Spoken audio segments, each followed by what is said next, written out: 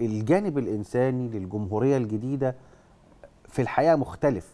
يعني شفناه في دعم المعاشات شفناه مع ذوي الاحتياجات الخاصة وفيما يتعلق بالعمال لم تنسى أيضا الدولة المصرية. العمالة غير المنتظمة.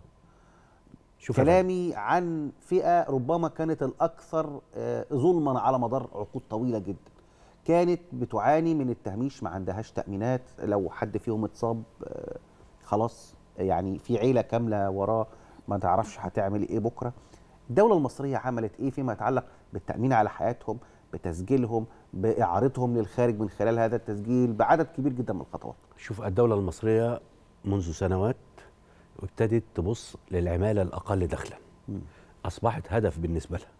زي ما قلت لحضرتك الحد الأدنى للأجور تطور ثمان مرات دول الفقات ال- ده للعمال المنتظمين. ده ده الكل. أي. كلام سليم. كمان العمالة غير المنتظمة كانوا هدف للدولة المصرية منذ سنوات طويلة. ويمكن شفنا ساعة أزمة كورونا إزاي اتصرف لهم ست منح. إزاي خلال فترة برضو بعد فترة كورونا مباشرة اتعمل لهم ما يسمى بشهادات أمان. يمكن كمان على المستوى التشريعي الدولة اهتمت بيهم سواء على قانون التأمين الاجتماعي في قانون التأمين الاجتماعي أو في قانون التأمين الصحي. لو جينا نظرنا لقانون التأمين الاجتماعي هنلاقي إن الدولة قر... يعني يعني أو القانون نص إن الدولة المصرية تتحمل قيمة إشراك صاحب العمل وهو والعامل يتحمل قيمة اشتراكه بس عشان ده لو جرى له حاجة أو وصل لسن 60 يبقى ليه معاش في قانون التأمين الصحي الشامل الجديد اللي طبق في بعض المحافظات المحافظات ولسه بيطبق في الباقي بينص على أن. ان أن كل من يحمل الجنسية المصرية سيكون تحت مظلة هذا القانون وأن الدولة سوف تتحمل قيمة اشراك صاحب العامل. وده برضو من ضمنهم العمالة غير المنتظمة.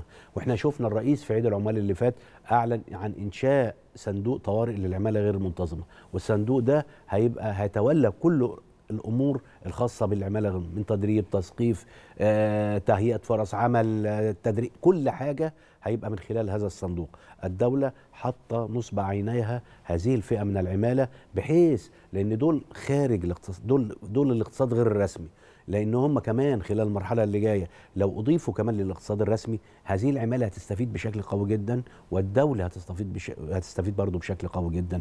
فالاستفادة هتبقى للطرفين مفيش طرف هيستفيد وطرف لأ. Mm -hmm.